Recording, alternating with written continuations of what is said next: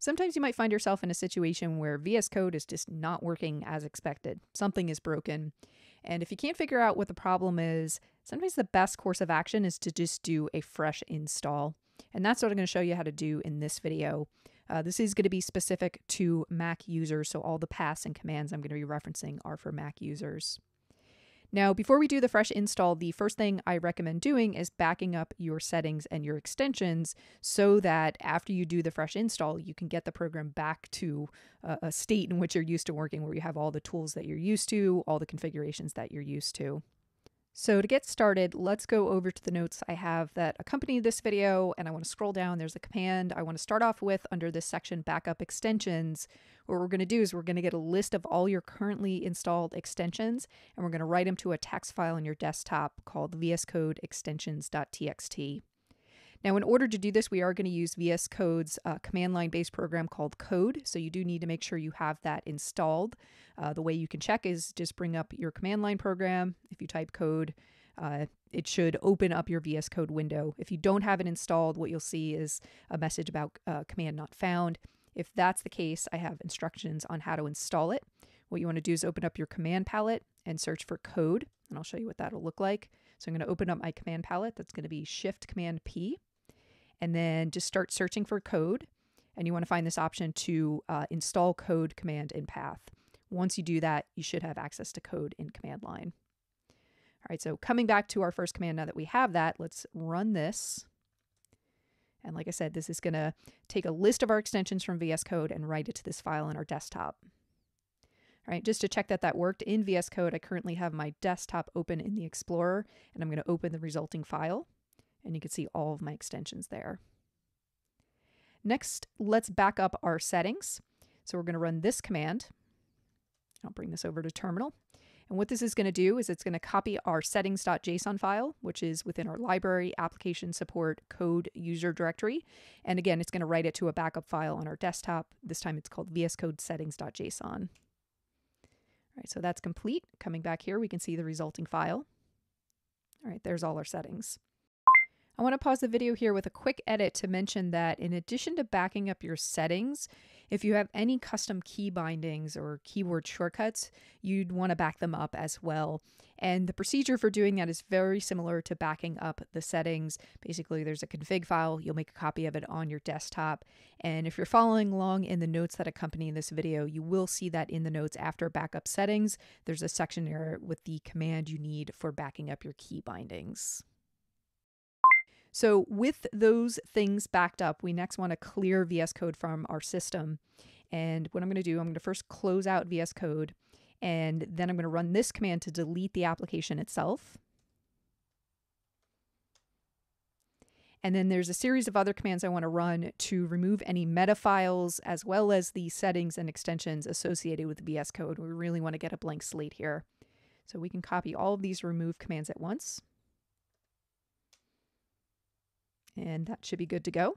So now that it's removed from our system, we want to get a fresh install. So I'm going to go to the VS Code homepage. It should auto detect your operating system. So just click the download button and I'll give it a moment to complete the download. And the download is complete. So I'm going to double click it to open it up. And then I will drag the resulting application over to my applications folder. And then from within there, I can locate it and open it up. And of course, the first time I go to open it, my computer's going to ask for permission to open it, so I will uh, approve that.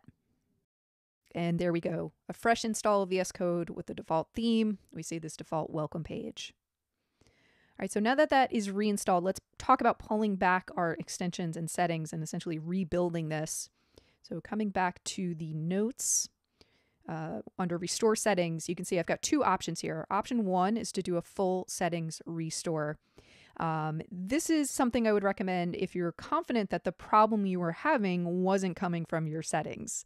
Uh, if the problem was in your settings, what you want to do is do a more manual approach to restoring your settings where you're going to pull in one setting at a time. And just to give you a sense of what that would look like, the first thing you would want to do is open up your settings file in VS Code. So I'll show that. Let me go over to VS Code. I'm going to get to my settings file uh, again via that command palette. So I'll do Command Shift P and I'm going to search for settings. and I want to find the option to open user settings, the JSON file. All right, so this was the file we had backed up uh, previously. Uh, now it's empty because we did do a fresh install. And what we want to do is open up our backup file. So let me open that file. This was on my desktop, VS Code settings. All right, and you can literally just start pulling in a setting at a time. So we can start with this first line. We could bring it in here, save the changes, and then uh, test VS Code and try to recreate the problem you were having that caused you want to want to do the fresh install. And basically just do this for a setting at a time and see if you can narrow down uh, which setting, if it was in fact your settings that was causing the problem. Uh, now, if you're in a situation where you're confident it's not a problem with your settings, uh, a quicker approach to this is just to take everything in that backup file and write it to your VS Code settings JSON file. And here's a quick command to do that. So I'm going to copy this, go back to my command line program, run that. And then if I go back to VS Code where I have the settings file open, um, you could see all my settings were written here. Uh, now, in this case, because I had already started making edits here, what that command did is actually wrote my settings from my backup uh, to this file in addition to the existing content. And that's not actually what I want here. So I'm going to delete that existing content. We just want our settings exactly as it was written in our settings backup file. Um, if you're following along in the instructions, you're going to choose one of these options. You're not going to do both like I was just showing so you won't run into that issue. Pausing the video again with a note about key bindings. Now would be the time that if you back them up and you wanted to restore them, you should do it at this point. Um, again, following the same procedures that I just showed for restoring settings, but you'll just swap in the uh, path names we use for key bindings. And again, you could refer to the notes for full details. Moving on past your settings, you want to also restore your extensions. And again, you could either just restore all of your extensions using this uh, first option here. I have a command that will reference the extensions backup file that we created. It'll go through that file, and for each extension listed there, it will uh, install it with this command. Alternatively, if you want to do one extension at a time, you're just going to manually go through that file, look at the name and the uh, extensions in there, and search and install them in VS Code. Uh, and let's just show that quickly. So let me pull up that backup file. All right, so starting here, I have an extension called Better Comments by uh, Aaron Bond. So I'll just go over to my extensions panel and I'll search for that. Make sure I've got the correct author here and I would go ahead and install that. And then like your settings, you would want to test it with each extension that you added. Uh, but if you're confident that the extensions weren't the problem, you just want to install all of them. Again, this command will do that. And that's what I'm going to do on my end. So let me run that. This will take a few moments as it downloads all of the extensions. And that's all done. So coming back to VS Code, we could just look at our extensions under installed and just skim through there and make sure everything's looking as expected. All right, now at this point, uh, with my settings that in place and my extensions in place, I should also be seeing the same color theme I was working with previously, but I'm not seeing that. I'm still seeing the default theme. Uh, and the reason for that is I'm actually noticing that my settings.json file has this little dot here indicating that I haven't saved my changes to that file. Uh, and I didn't do that because one of the settings I typically have in VS Code is to auto save my files when I leave them.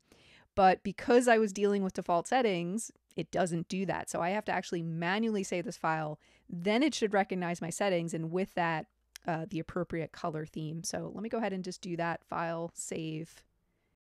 There we go. That looks much better. And because my settings are now in place, moving forward as I make changes to files and leave them, it should auto save them for me. All right, and with that, we have done a fresh install and restored all of our settings and extensions. And if you were doing this because you were debugging, uh, troubleshooting something wrong in your VS Code, hopefully this process has uh, fixed that error and got you back on track.